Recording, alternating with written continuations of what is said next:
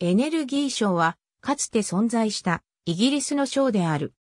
1973年の石油危機発生や北海油田の重要性増加を受け、エネルギー生産に関する職務を通商産業省から分離する形で、1974年1月に設立された。約10年前に始まったイギリスのエネルギー産業民営化を受け、同省は1992年に廃止された。その機能の多くは放棄され、残りは他の機関、または部門に吸収された。ガス供給庁と電力規制庁は市場規制を継承し、省エネルギー庁は環境省に譲渡され、主事のメディア関連機能は国会参省に譲渡された。英国のエネルギー政策に関する中核的活動は通商産業省へ譲渡された。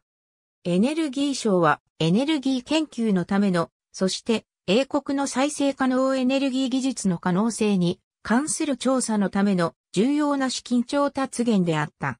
同省から全部、または一部の資金提供を受けた事業としては、地熱発電やセバーン川口関の調査がある。閣外大臣には、ピーター・モリソンとパトリック・ジェンキンがいた。エネルギー省は1974年に設置されたが、エネルギー関連事項を扱う最初の省ではなかった。燃料動力省は1942年6月11日に商務省から機能を分離されて設置され、石炭生産、燃料供給の割り当て、エネルギー価格の統制、及び第二次世界大戦中のガソリン配給を干渉した。燃料動力省は1957年1月に動力省へと改称した。その後動力省は1969年10月6日に技術省の一部門となり、1970年10月20日に通商産業省となった。ありがとうございます。